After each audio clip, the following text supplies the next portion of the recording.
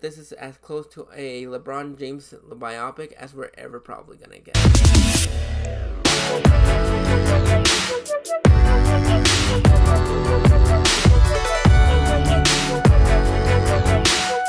everybody. Today we're going to be talking about Sp Space Jam 2, A New Legacy. The film stars WB, who is trying to promote their new streaming service, HBO Max. They decided to just throw in LeBron James and this unconvincingly heavy plot about LeBron James trying to help his uh, son get into basketball, pushing him to the limits so that he can be him when he grows up. But his son has other passions such as creating video games. And one day when they have a fallout both of them get trapped into the serververse. LeBron James has to go ahead and play basketball with the Looney Tunes so that he can get his son back. Now, this was a movie that I was kind of semi looking forward to because uh, I never saw the original uh, Space Jam until yesterday. Uh, I thought it was alright. I'm more of a Looney Tunes back in action kind of guy. I think that's my jam a little bit. No pun intended. But I was semi looking forward to this film because uh, I'm not a huge basketball fan. Uh, I did like LeBron James for what he did in Trainwreck and the comedic moments in that film. So I was hoping that he would bring a little bit more of a sensibility and hopefully he would be able to carry this film and give us a little bit something that we didn't get in the original Space Jam with Michael Jordan. And you know, the Looney Tunes were fine.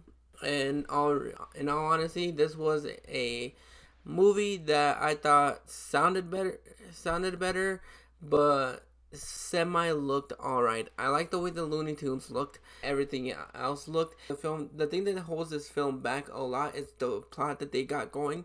95% of the time, it feels like it's WB jizzing all their product placement right in your face, and that really doesn't work all well as probably they thought that, that it would.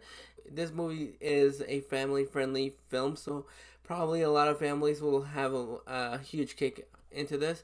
I know my mom would get a huge kick out of this film, but I think this movie is served better as a drinking game because the amount of times that they throw around WB, uh, LeBron James, or basketball, or serververse, or product placements, it really is a fun time if you're taking shots all the time. Uh, I wish that's what I was doing at the movies.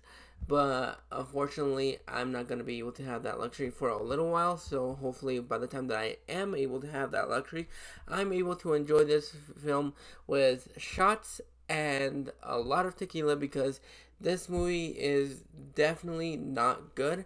It's it's bad, but it's not Tom and Jerry bad. So I'll give it that. There are some funny moments that I I generally did laugh at a lot, but overall I thought this movie was trying to head into an alright direction. This movie is a little bit too long because it has a lot of exposition in the film about what's going on and what LeBron James has to do in order for him to get his son back. I don't think that the kid that played his son and LeBron James James had the best chemistry in the world, but they I thought they did all right for what the film recalled. And oh my god, I really did enjoy LeBron James in Trainwreck. I thought he was the funniest part of that film, uh, aside from uh, Bill Hader. But uh, yeah, this movie did not do him any favors because I really did not like him in this film. I thought the first five minutes of screen time that we get with him in the film was him just being a dick to his son, and it made me want to hate LeBron James. Uh, hopefully, he's not that kind of parent in real life. Didn't his performance in the film really didn't do it for me.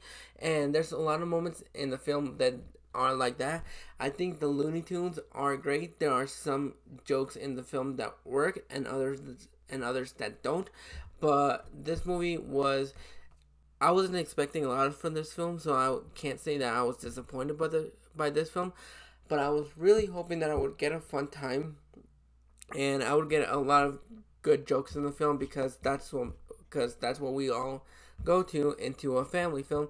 But this movie just really didn't. This movie just gave left me a sour taste in my mouth, and it's just not good. It's it's bad. But it's not Tom and Jerry bad. So I guess you can you can just leave it at that. But other than that, yeah, there's not a whole lot of redeeming stuff in this film. There are some jokes in the film. I like the Looney Tunes. I wish we had gotten a Looney Tunes movie instead of another Space Jam movie because I think that was the best part of the film. And if the Looney Tunes weren't in the film, this movie would just been. A lot of people will say that it's awful, but this movie is awful. Like, if your kids are behaving badly, this is a movie that you want to probably show them so they can probably just calm the fuck down a little bit. But, but yeah, this movie isn't good. Uh, I was hoping we could get a little bit more, but hopefully uh, they don't do another one because this movie was bad. It was really bad. And let me know what you think of the film. And if you like this review, go ahead and click that like and subscribe button. Let me know what other movies you want to want me to review. Hopefully, I'll be able to get some more reviews up this weekend. So until next time, this is Josie reviews.